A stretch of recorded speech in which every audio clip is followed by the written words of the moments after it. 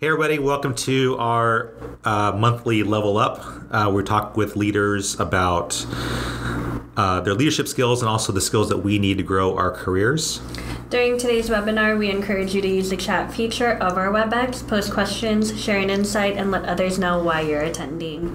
Today, we're excited to chat with Gerry, Chief Communications Officer of North America and Head of Global External Communication.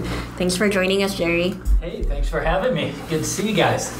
All right, so uh, Gerry, I was thinking about um, this conversation on my bike ride this weekend, and my intro changed like a hundred times every single time I was replaying this conversation. So I thought, I, I, Mike, I'm getting nervous that you're thinking about it while you're riding your bike. Yeah, let's keep going. so, uh, so I thought I'd start off with the story. Um, the very first time I saw you, and this was when I first joined Experian, and this was like eight and a half years ago. You weren't my boss, um, but I got invited to a meeting and it was like you and Susie and a bunch of others. And I walked into the meeting, and for, for some reason, the person who organized the meeting wasn't there. And there was a bunch of us. There's probably like 20 of us, and we were over over by the Malibu room, and we're all in, around this like table, and we're all there. And the person who organized it for some reason wasn't there, and I'm not even sure like why we were all there. and and so all of a sudden, you just took control. Like you just like you stood up and started to like to lead the conversation. And you said oh since so and so's not here uh, let me just share my thought. And you just like set the stage. Mm. you then organize the entire meeting and i was sitting there going wow who is this person? Like it's not even your meeting but you like took control of it. And then when i ended up joining your team later on um, and there's a lot of reasons why i did uh, seeing you manage crisis and like chaos and like you're like that calming voice that like there's a storm happening out there and you're the captain of the ship and we're all looking to you and you're able to like make sense of like what's happening calm people down steer a group even though there's all this stuff going on all these unknown factors and i've been kind of seeing you like do that. So I just wanted to ask you about that. Um, well, thanks for the memory. I, I can't recall. that could be part of aging and senility. Um, uh, like I, I don't know if it's just over the years of being exposed to to issues or, or needing to, you know, when you're when you're in a room and you're staring down 20 people yeah. and nobody's there to, to kind of take the lead I, am ha- I'm happy to step in if I if I have a sense of uh, what the agenda may be. Um, I, I also think from uh, raising two boys and and being married for 20 years gives you a sense of how to how to manage through those things a little bit. Um, yeah. Well, I mean, I mean, also I think like um, you have that that confidence, and I want to say confidence with a smile because you're not there's like a, there's like a cold confidence, like a calculated, where someone can be very very confident, but can be very very cold, mm. and those kind of leaders, I don't, I'm not really drawn to those types of leaders. Like they're very confident, and they're great on stage, and they know how to command a presence and command attention. But there's also like your kind of confidence, where it's like I say confidence with a smile because you're confident up there, but you're also relaxed, and you're and you also don't take yourself too seriously. Well, I think how you how how I project myself or how anybody projects themselves when they're in meetings like this will also set the tone of the meeting and the engagement with the people who are attending. Um, I think if you have a demeanor that's that's kind of either forceful or commanding, demanding in a way that can make people feel uh, put off, you're not going to get the best out of them.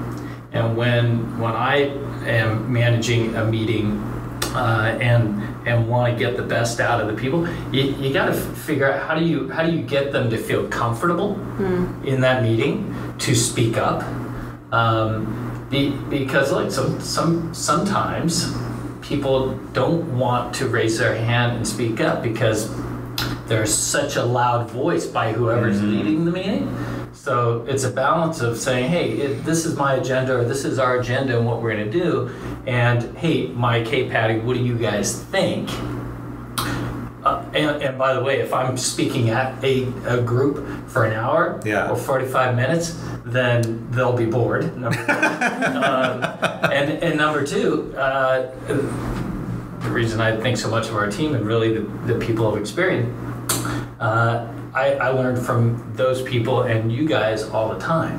And so I want to hear different voices. And so you want to create an environment in a meeting where you get more voices and you get more opinions. And I think that's an important, especially for this group, to think of is always have a voice and have a take and, and, and share your opinion. And it might not always be right, but you've got an opinion, and then you, you kind of put it all together to assess what's the right approach.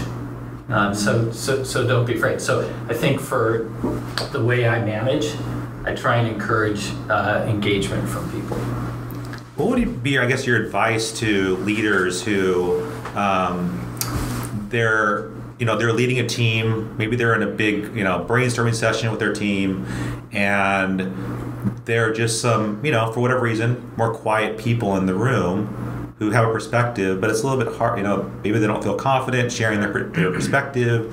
What would be your advice to that leader to kind of draw out the best out of the people in the room? Well, um, I, I think there's so many great leaders out there, and they all have their kind of own approach. So I'll just tell you kind of my my approach on something like that.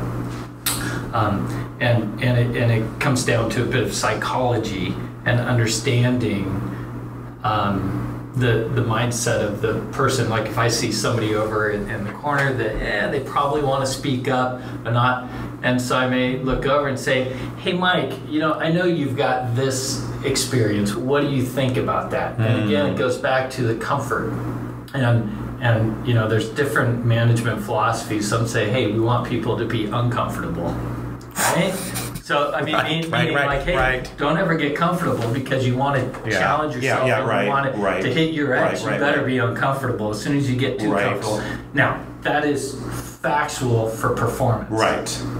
but for engagement, you want to get in an environment where you can go over and say, yeah, okay, hey, Patty, what about that? And, and what do you think? And it might be a bit uncomfortable right away. But Yeah. once somebody speaks up and it's like, hey, good thought, or, you know, let's just build on it. And, and I know we're not talking about brainstorming, but it also goes to the, to the sense that when we're talking about things, I I do not like when people are throwing out. If somebody throws out an idea Yeah. and somebody else says, "No, no, no, that'll never work." Well, it may not, but as soon as you go with that and say that, that person will just go back to the mm. corner. So how do you foster the environment where you get people to think more and encourage it? And you know, for for every five or ten ideas that I throw out, four, five, six may be okay. Uh, four may not be too good, but we we're still throwing out the ideas. Yeah. So for those of you listening, um, just so you know, Gerry actually is our boss. Oh, So- yeah. Full transparency. yeah. um, so Gerry, actually, you were uh, my second interview when I was about to be hired on at Experian, and I remember being told by the recruiter after I first interviewed with Mike, "Oh, like you're going to be interviewing with the chief communications officer next." I was like, "Oh, really?" because at my at all my previous jobs, um, it was really rare for us to have open communication with our leaders.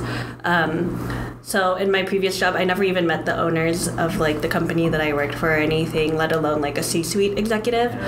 So going into our interview, I was actually super nervous.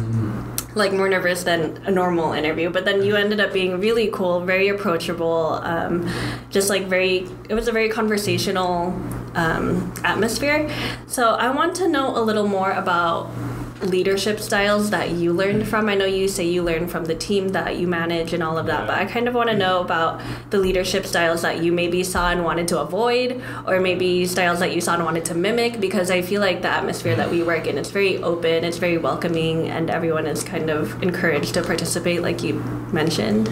Yeah, I, I I'm always surprised when I hear of hierarchical environments where people at you know either junior or mid level don't have access to or can't have conversations with our either C-suite executives or senior executives, and and I think that's a big plus at Experian is we have that sort of culture where everybody everybody is kind of sharing and open. And we know about Craig Boundy's um, meetings with with employees, all employees, so that's good. Um, it, like I don't, I don't want to cite any one particular manager or leader I've had in my 25 plus years, um, but you definitely, uh, I, I've definitely had leaders who have been standoffish and not Right. open, and what what I've, uh, and then I've had leaders who are saying, "Hey, Gerry, come on in. I want to hear your idea."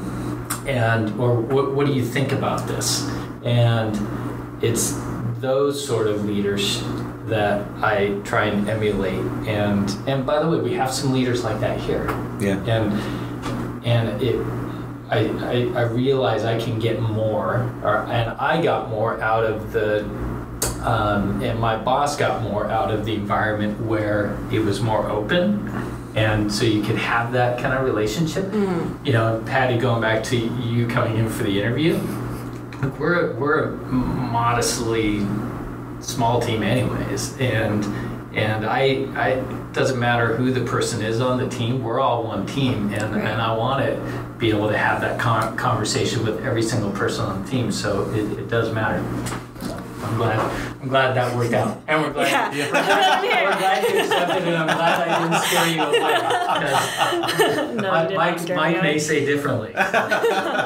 No um, but going back to you saying how like there's you know those kinds of leaders where they want it like hierarchical and they don't want you to talk to them and Yeah. they don't want it to be as open and there's going to be leaders like that at every company. How do you kind of deal with working with those kinds of people both i guess as when they're your manager and as Yeah. like peers. Yeah, well, you, look, you, you, you have to be eh, what I what I would advise for any any person coming through the ranks is you have to also be flexible to the work environment and and the leadership because you're not always going to pick the perfect leader and you're not always going to get that perfect leader. Um, and um, I, I've had those before, and you just kind of understand what, what drives them. And, and by the way, that leader, whether you agree with their style or not, they want to succeed. Yeah. They want the company, the client, whoever, to succeed, and they do want you. They do want the employees to succeed. So, how? So, uh, if I were in that environment where I didn't necessarily agree with their approach, I would still say, well, how can I bring value to their decision making, or how can I help them out? And um, because as soon as I help them succeed at something, then they may be a little more approachable for for working with me. Um, so you just understand. I think it, it's understanding their motivations too. What what's going to make them feel like they're successful? Yeah. Yeah, I I think that speaks to um, another quality that you have, Gerry, which is, and I wrote this down on my my phone. Um, not while you were biking Not not, not, not while I was biking, not while I was biking, but afterwards. Does everybody who listens to this need to understand your biking style? Probably a whole, whole episode Okay. about about falling down on bikes and the dangers. Um, but one of the, one of the things I was, I was thinking about, what are the things that some of the qualities about Gerry that I really admire, and um, one of them was I put down that you are a very empowering leader. Like some people, some leaders, and I've had these leaders in the past, can be very very domineering with their power. Um, and making you feel sometimes I felt in some some cases worthless. Um, I've had some really Was that, I've that had wasn't here, right? that wasn't I here. wanna That wasn't sure. here. But I've had, I've had some very bad leaders in my experience um, that were very domineering, very fear based. And I was feeling threatened all the time. I felt like very unsafe for a lot of different reasons. And um, and then when I met you and ended up working on your team, your style I felt was very uh, empowering, like very collaborative. Like you were like, "Come on in, share your ideas. What can we do?" Um, can you talk a little about your like that empowerment style? Um, many people have said this over the years, but you always want to surround yourself with uh, smarter people than yourself. You want people who have different views and different uh, takes, um, and uh, I I kind of cherish that. I embrace that, and I don't have the answers for everything. I've got a general approach and strategy and where we want to go and our ambition of, of how we want to be perceived and and maybe how we operate.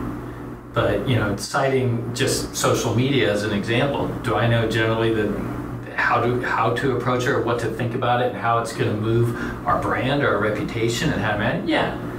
But who are the experts you are mike you are patty sarah every, those are the people and if if i try and make those decisions on Yeah. my own or if i if i do that on my own we won't be as successful as having multiple points of view and coming in and, and then saying this is the right way to go. Um, and um, and and i think we're more successful because of that. And so you know it all goes back to what what drives success. That in my opinion will drive more success than trying to say this is plan X and this is what we're going to do. Go do it, because then you're also not motivating the Yeah. the employees. You're not motivating the people because don't you feel better when you collaborate on it and you go in say, hey, I, I'm part owner of this. I helped come up with this program, and I'm going to feel very passionate about uh, achieving it. Yeah, and, and I love also for those that know don't know Gerry. So when you do brainstorm with Gerry or in a meeting, all of a sudden Gerry goes to the whiteboard, and, begin, and at that point I know something good's happening because Gerry goes to the whiteboard and begins to write down these ideas that are like, and and then you kind of make like a map. And that map will stay on the whiteboard until it happens. I'm, I'm very uncomfortable when I don't have my dry erase marker. the whiteboard. Ready to go. Um, and but it because we as we're talking, oh, Yeah. oh, great idea. Let's put it down. Otherwise, you're just talking and and okay, walk away. But if you put it down, it becomes more tangible. Mm-hmm. And then and then you can refer to it, and then as uh, you know, as the example goes, and you're in there, you'll snap a photo of it and say, all right, this is where we're gonna go. Yeah, well, you're really good at like also organizing the stuff. I'm not good with that. You remember, you j- you jot down in your your notebook online. You're being too nice. I'm now, He's got he's got you got tons of notes. Everything you can go back and see things very very fast. I, I do I do I do um, I will say um, that maybe this is just my my crutch is taking notes and how you when you have thought like you you gave the example when you're on your bike ride and Yeah. you and you g- go over and use your phone to take a note. I could be over and you hear people having notepads by their bedside to take. I don't go that far, but I, I do keep various programs, whether it's Evernote uh, or now OneNote, um, and and on my board is I, I may have ideas all the time, and I jot it down, or I may hear something, or I'll see a news story, and I capture it because and I and I think that's a good takeaway for this sort of discussion is it be be a sponge for all sorts of information and ideas and, and you're going to get that either through an environment or I may be at at the beach or a lake and I hear something that somebody says and say oh that's kind of inspiring. Let me write that down and see what that means. Or I may watch uh, CNBC and see a news story that says we should do something or there's all sorts of uh, matter and inputs and make sure you capture that because otherwise it could be a fleeting thought Yeah. at least for me i need to You- I, need, I need to write it down and then say what does that mean and how can that contribute to to our strategy and it might be a nugget of an idea but it could be the next idea I think part of it's also like a skill because I will jot down notes, but I have like a long running online document that's just like random notes of like all these Oh, different no. ideas. But you you do a very good job of like putting things into folders, and I think I'm glad you mentioned Evernote and OneNote I love Evernote. because you you can you you're able to quickly find the stuff. So I think that's a really good skill that I I need to work on, like being able to organize. My, how do you, how do you organize your things, Patty? Evernote. Evernote. Yeah, I have you like do my Evernote? folders, and then like each each document is a different note thing. Yeah. Yeah. I don't do the whole one long document. That would drive me crazy. Yeah, that's me. That's me. That's my disheveled, crazy mind. Um, Well, with Evernote and all your note taking and all your ideas, I feel like when I do it, I kind of get lost in my ideas, and there's just so many things. And I know that with your position, you're also having to pay attention to the news a lot. So mm-hmm. even just with your notes or the news, like how do you cut through the noise and like focus on something that's like actually really important? Uh, uh, super hard. uh, I, I don't know if I have a great answer for it because there's a lot of noise. There's Right. a lot of noise in the media. There's a lot of different ideas. There's a lot of noise. And you're in North America environment and in North. America. Yeah. And paying attention to that. Um, you know, the big.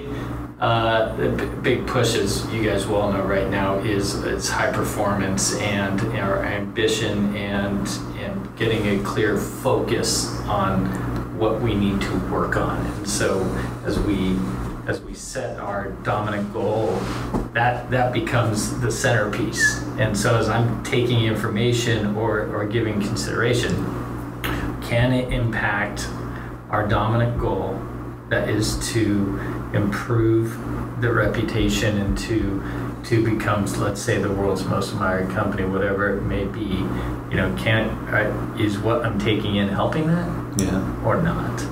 Uh, and that, that's on the business side, Right. of course. But I, you know, I, I read everything and take in things that can also contribute to my personal side as well. I mean, business is important, and it is, but also either raising my family and Of course, kids yeah. and stuff. Or also, I, I, I, I pull in a lot of different pieces of information and and such. Uh, Gerry's like a computer. Like I'll sit there chatting with him, and then Gerry always has Bloomberg on on, on the screen there. And I was chatting with with Gerry, and all of a sudden, like something comes up, and Gerry's like taking a picture while he's chatting with me, and I'm like, and then Gerry's like, oh, and then Gerry tells me what he's doing. But you like you're like you're a sponge for information because you'll see stuff, and you just keep in the back of your head, like, oh, that you know our competitor is doing this. I'll need to I need to remember that. Yeah, it's um, well, it, it goes to documenting Mhm. and, and noting what, what what I see, and hopefully it's never dis- uh, No, no, no, no. distracting. uh, but you know, with you know having having you know for those who don't know, I have a, a TV with CNBC or Bloomberg on all day, so I can pay attention to what either is trending news and see what's going on, whether it's competitors or industries and. And I think that's very important for any individual of any company is to pay attention to what is happening in, in the media. Um, but that particular example was around probably privacy, and, and I saw a headline. And I said, okay, we should probably pay attention to that. I snap it, I go, and then it reminds me to go back, look at the story, and say, how can that inform our team, and then share it back out. Um, so you just, again, it's it's a bit of multitasking, and most people say not to multitask. um, it's uh, it's it's uh, probably a, a bad habit of mine. But, I- but I think in like your role, you have to. I mean, I know multitasking is not like the best for being super productive, but part of being in comms means you need to be totally aware Yeah. of news cycles, things that are trending. Which Pretty means even though you're doing the work and you're busy doing things, you have to be like.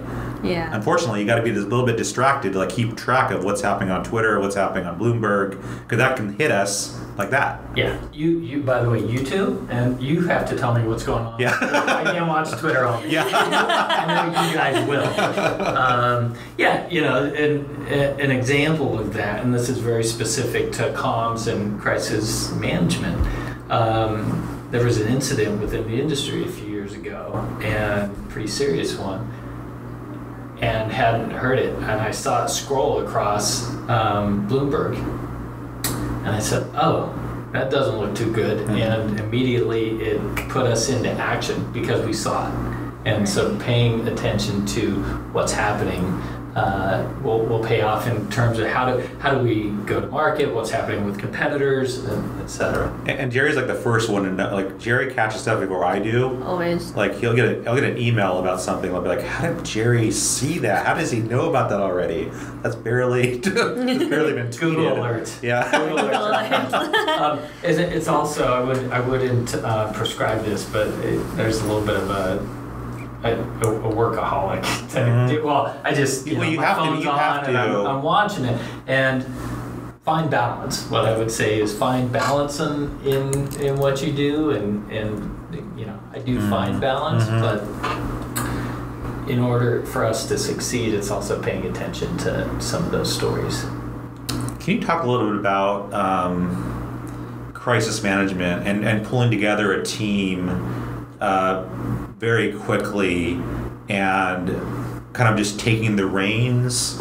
Um, because I've seen you in action so many times where something will happen and you will all of a sudden will be on a phone call with 50 other people, mm. executives, people in all different ranks, and you are so polished, so good on that call. I would think Gerry must have scripted this. You must have like written a script to lead this phone call. Can you talk about a little bit about your like your process for kind of like um, pulling together a quick meeting and being able to like lead a very successful meeting quickly?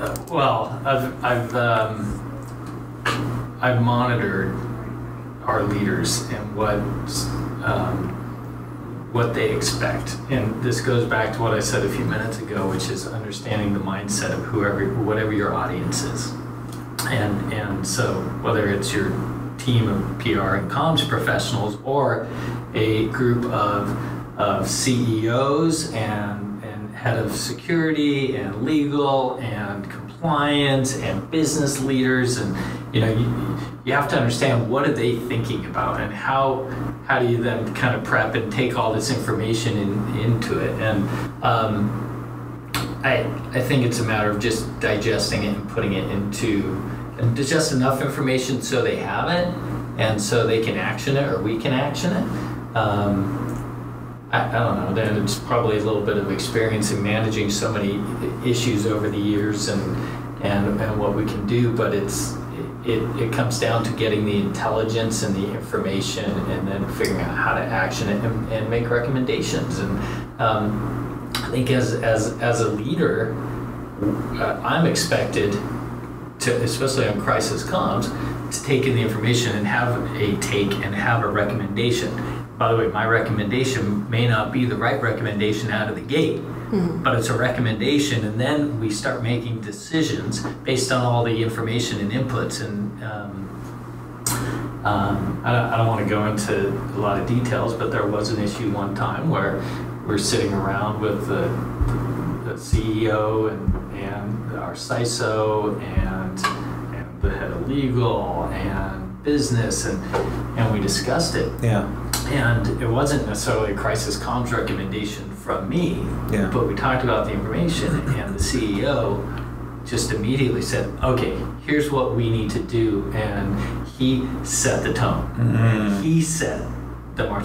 So for for anybody around that table, Yeah. including myself, as you get that information, you get that direct. Great, that's a sign of a leader. Mm. And that's what you need. So whether it's me as a leader doing a comm thing or the CEO saying Right. this is what's right for the company and we have to do it, and then you go with it.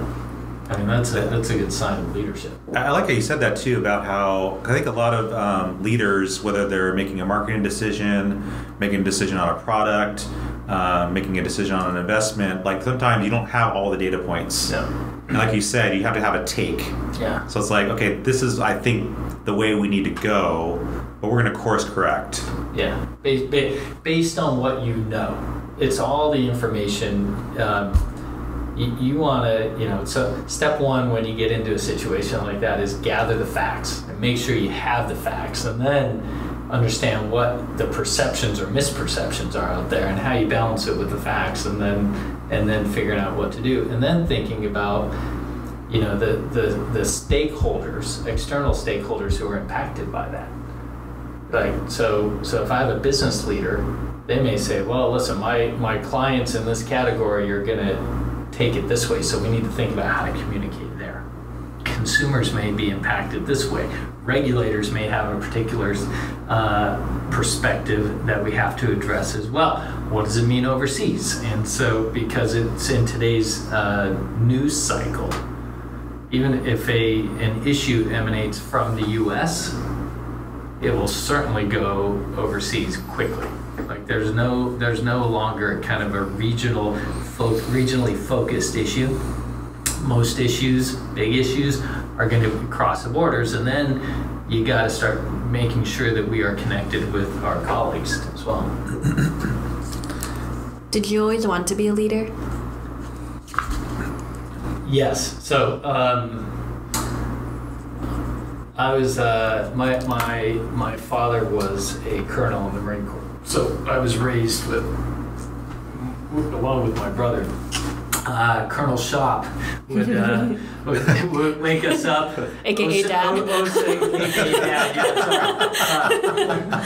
Uh, uh, boys, get in the garage. Oh, 0600. Oh my God. like he would have this commanding presence Wow. and and you know we're, my brother and I, I'm 12 years old he's like you got to sweep here and, and I won't bore you with all that stuff but what I saw and what I watched and it's like all right boy and we got stuff done it's like he was probably the Mike to your point earlier he might have been the guy that was in the show Colonel Tschopp was a little intense but in a good way Yeah. but what I what I learned from that is like, all right, how do I how do I kind of use that? And then as I got into college, uh, I had a, a professor, Jack Keeger, who was amazing and a great men, uh, mentor to me, and he said he said, look, if you if you want to really follow it, this PR profession and you want to be a leader, you should start getting involved in organizations. So I immediately joined uh, a, a group at the time, Public Relations Student Society of America.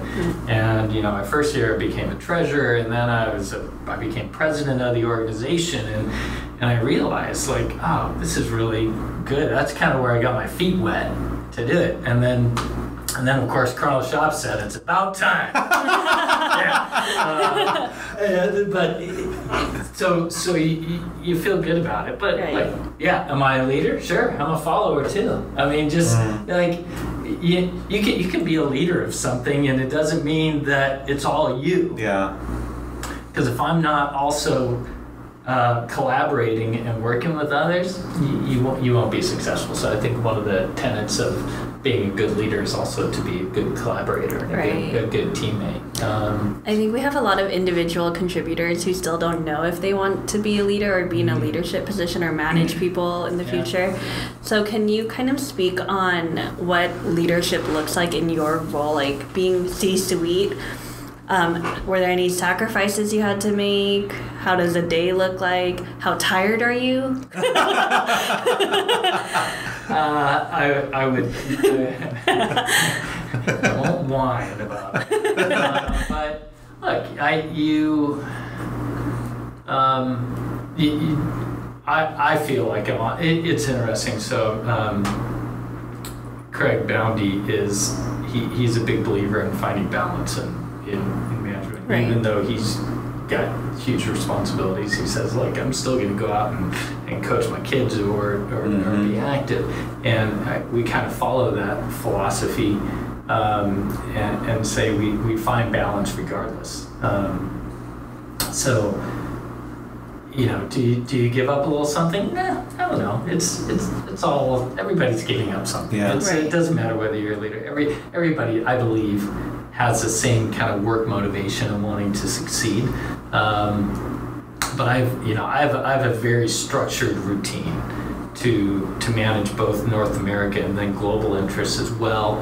Um, and and that's making sure I stay close uh, with the regional regional leaders or regional comms leaders and understanding what's happening out there and then getting up first thing in the morning and paying attention to either emails overnight and, and seeing what's hit or seeing my Google alerts or news feeds uh, of what's happening to see if we how the day's going to shake out. I think um, being very organized in terms of what to what needs to get done and goes back to lists and Mhm. and and um, making sure we're hitting deadlines and and and also trying to be very respectful of of uh, meeting times and whether you start on time and be respectful of everybody who's going to be on and, and ending at an appropriate time. I'm not perfect at that by any means, but I try and look at the, the clock and say, hey, we got 10 minutes left. All right, what do we need to do? And any more questions on this? And how do we want to close it up? Yeah. Because we, we sometimes fall in a culture where it's okay to be five minutes late to a meeting or and five minutes late. And um, like I said, I'm not I'm not preaching perfection here, but I do believe we can all benefit from doing more. Have you ever dealt with burnout either here at Experian or at any other company you've been at? Sure, 10 minutes ago. uh, look, I, I, I, I haven't, um, but I, I haven't. Uh, but I also work hard to recharge at the right time. Um, What does that look It- like to you, recharging? um, it can be playing playing basketball. It could be going for a bike ride on the beach with uh, my kids. It could be going out to the lake to go water skiing. Um, it could be a great dinner with my wife and, and friends and sharing a good bottle of wine and a great meal and some laughs and it, you know it's it's it's getting it's putting the work down Yeah. Right. and it's going and experiencing life and having emotions and and um, pleasures that don't involve work because then you know and going back to the mantra bringing your whole self to work i want to then say all right how did how did that weekend or how did how did my activities influence it Yeah. and i think the more you do that the, the better you are about uh, coming up with new ideas or solutions or managing and getting the energy because it takes it takes a lot of energy to uh, in, in any leadership position or any position for that matter. And so make sure you, you, you focus on, on yourself and your family as well as uh, work. You know, as I as I, as I um, was in this recent uh, Power Your Potential program, as I was chatting with different people, they were talking about how a lot of people want to improve their public speaking skills. And when I look at you and and you as a communicator, you've done a, just a fantastic job. I wonder, wonder if you can talk a little bit about how you have improved your presentation skills, your speaking skills over the years. Yeah, I uh, I can continue to use improvement. I mean, just a, I, you, I, no matter what your level is, if you ask any any senior leader, everybody's going to have a little bit of attention going into it, and that's good. And you have to kind of harness that and, and use it as energy to to, to resolve it. Um, the I, I use every opportunity, whether I'm speaking to two people, 20 people, 50 people, as a chance to hone in on whatever the message is and and and also eye con- I, I just believe eye contact matters. If you're just kind of looking down the whole time, it, you're, you're never going to engage anybody. But if I make a point with eye contact, you Mike or you Patty, and I'm going, and I, I just think that's important. But you know, I there, there's still a lot of work to do. That's that's interesting. I was just listening to a podcast with Brene Brown, and she's like known for doing one of the best TED Talk presentations. And she recently did a Netflix Netflix special, and she talked about how um, she told the directors at Netflix that she wanted the house lights up. She Yeah. didn't want spotlight on her because she wanted to see and connect with the eyes that. and the audience. And then she, she said for her that was really important to connect with people Yeah. at the eye level. I thought that was really interesting. Yeah, that's why. Well, I, I think that's an important point because if I'm also looking out at the audience, and if I look over at Patty and she's kind of looking down or looking disinterested, whew, that's a, I, I will immediately leave that because Right. that can bring you down. So I, I, I also think it's a reminder in the when you're in the audience, be be present and and make try and make eye contact with them. It's like, oh, all right, good, and and um, I think you get more out of it as well. Yeah. But I, I, I do believe like have have an energy with your audience. Um, we we I, I had to uh, present to a group a few months ago, and it was like I don't know, 25 or 30 people. It was a Friday afternoon at like 2:30, and Oh, yeah, that's a it- hard it- time. It it it. It was horrible. It was hor- Like- I, I was watching them. They're like, "Why? Why are we here afternoon?" And I'm, I'm, I'm thinking, "How am I going to get them, Yeah. engage them, and get them going?" And um, you know, try and use a little humor and get them going. But uh, generally, I could tell like Friday afternoon not the place to, to get people's energy up. But and you have to. Again, I'm going to go back to understanding the audience's mindset. Where's where's their head? Well, on Friday afternoon, I knew where their head was. It was like, I'm going bike riding the next day. I'm going dinner tonight. It wasn't on learning about what's going on in communications and this and that. Absolutely not. Uh, so so then you, you try and uh, switch the script a little bit to to make it relatable to them. Mm, Uh, so that's that I think is an important point. what has been the most humbling experience of your career so far? I've had quite a f- few, and I I think the the the lessons along the way are you're gonna you're gonna you're gonna either fail, you're gonna misstep, uh, and and it's just gonna happen. If you Yeah, think you're gonna yeah. have a perfect, Right. uh, hundred percent uh, perfect career, you're, you're fooling yourself, and it's okay. And um, you know, I've, I've had a, a few. Um, there's 20 years ago or so, I had a boss, and, and I made a decision on a. I think I made a decision on doing a press release or something, and I'm like, oh yeah, this is the right thing to do. I probably don't need to check in with that person, and we did it. Uh, and uh, I got a call from that person at my house that evening. Oh, I got gee. I got ripped, and and uh, you know, there, we, we didn't do much harm. There was no harm in what was done. yeah. But the lesson learned for me was, you know, it just I don't have to feel like I have to make all these decisions all the time, and and it, it, so it was it was a little bit humbling. I didn't like the person's approach.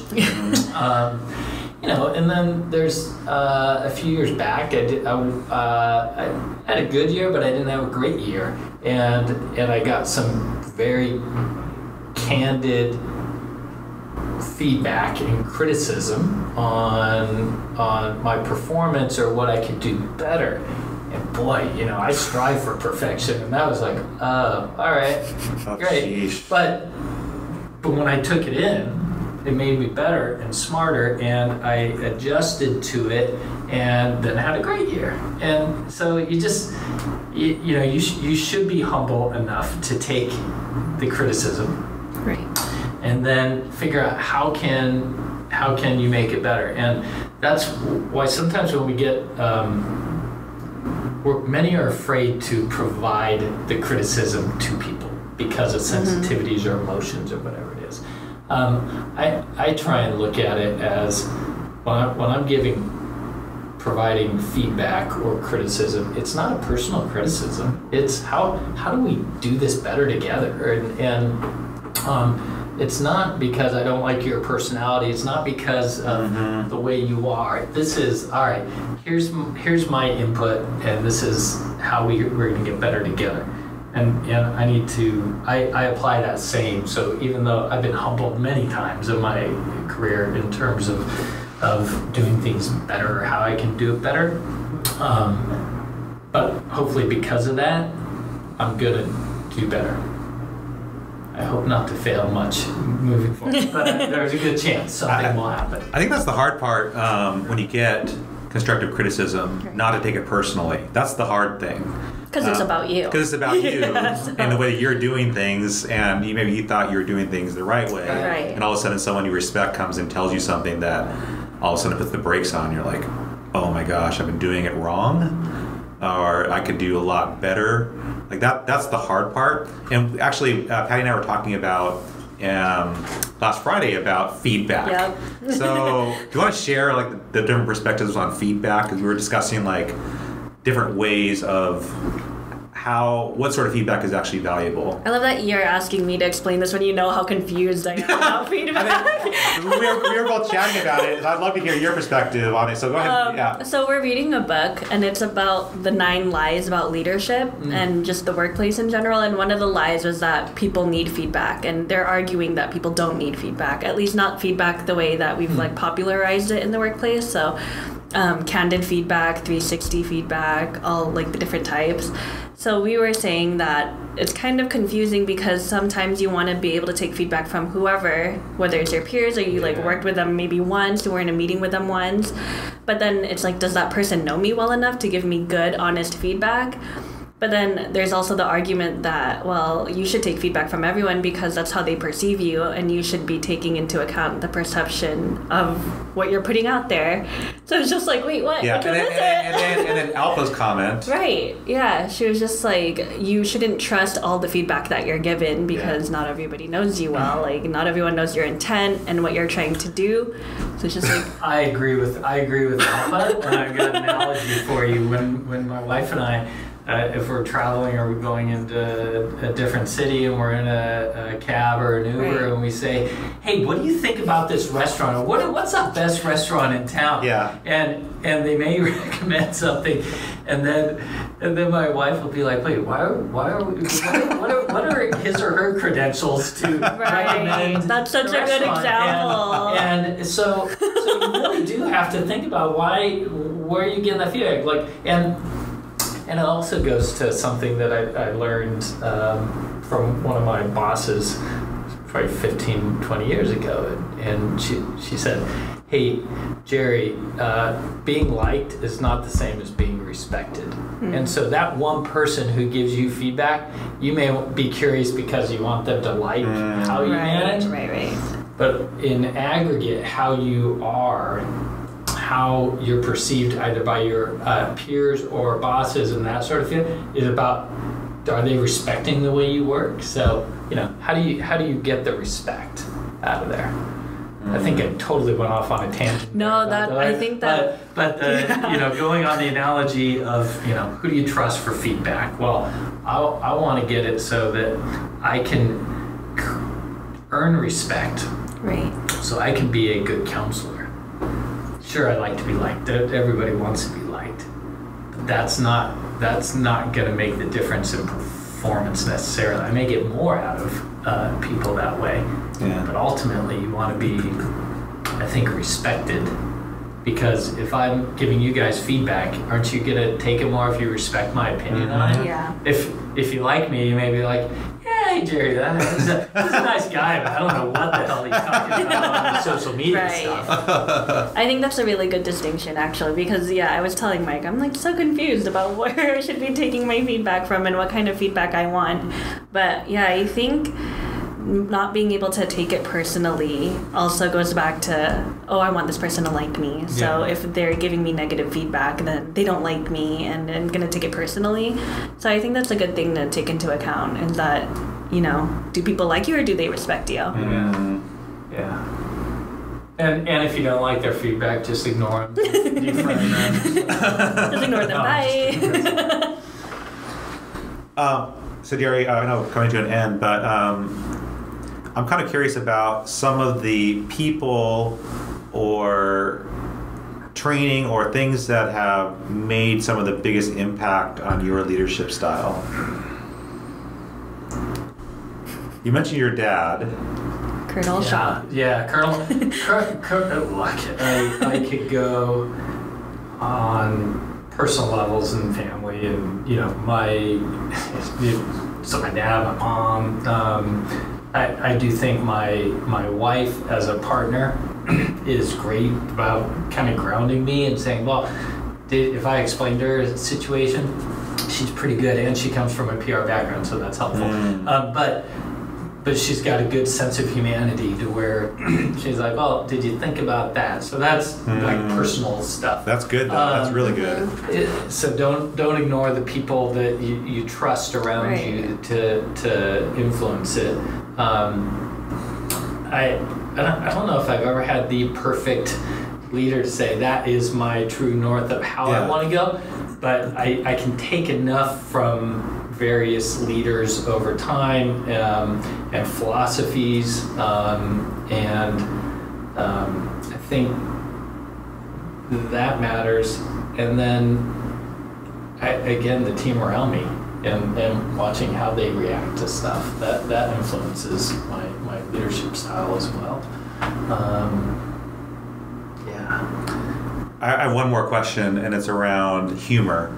So I think you do a really good job of diffusing tense situations with humor. Uh, we can be in a crisis mode, working all weekend long, and we're in meetings, and Gerry will just have like will say something that is just going to break, you know, break the silence, break the, the tense situation, make it funny.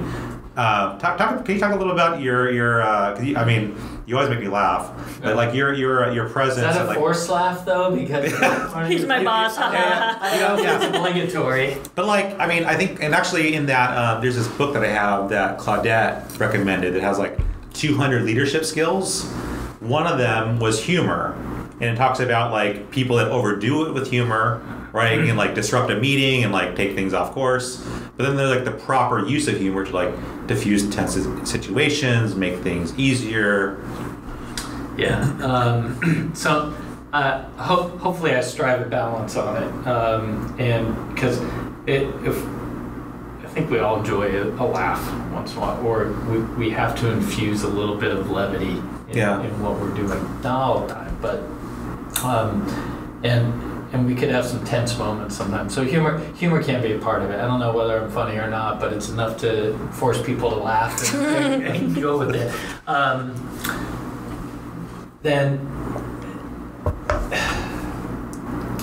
trying to follow my, my train of thought, but humor, like I can be serious all day. I think everybody wants to enjoy a laugh. Um, you you want. Um, I, I do see it. it. This again gets back to the meeting. And if I see people's faces Yeah. really tense, Right. they're not going to do their best. So, all right, let's let's lighten it up a little bit.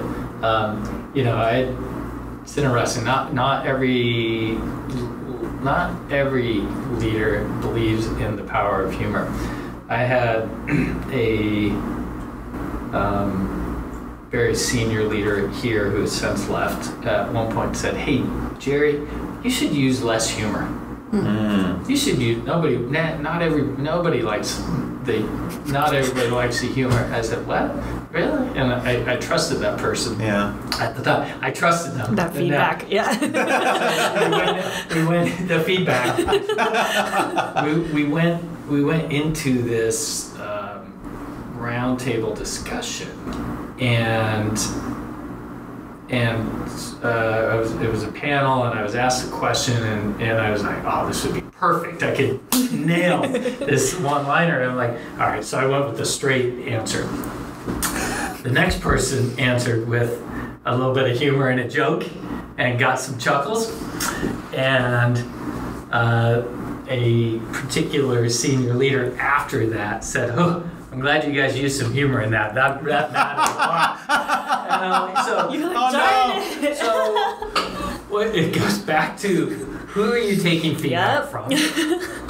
And I, ever this was uh, three to five years ago, and I, ever since then I'm like, you know, what, I'm just gonna follow my own path on that, and once in a while use humor, not.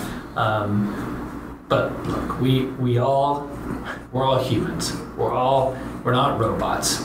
Not quite yet. we're, we're, we're leaning toward AI and such, but um, look, we're all we're all humans, and, and we, we have to be able to interact and and appeal to our emotions and, and appeal to motivations and respect re- respect each other's uh, work lives and personal lives, and um, you know if I if I if I can have a team where we feel pretty good about working together and, and, you, and you walk away um, uh, respecting one another, I think we're going to do better things together. Mm-hmm. And, and it's when we don't treat each other as humans that that becomes quite disrespectful. And I don't think anybody wants to work in an environment like that. And that's why one of the things I love about the culture that's being driven here at Experian is that we're we, we try and create that sense of humanity and, and approachability. I think that's an amazing note to end off on. Mm-hmm. So thank you so much for giving us your time today, Gerry. Um, for everyone listening, our next guest will be Justin Hastings, Chief Human Resources Officer, July 16 at 1 p.m. Pacific Standard Time, and Reshma Peck on July 23rd at 1 p.m. Pacific Standard Time. She's the SVP of Marketing. Please let us know what you found helpful in this series and what topics or leaders you'd like featured, and reach out on lead at Experian.com. That's L E A D at Experian.com. Thanks, Mike. Thanks, Patty. Thank Thanks, you. Gerry. Thank you, everyone. Thanks, everybody.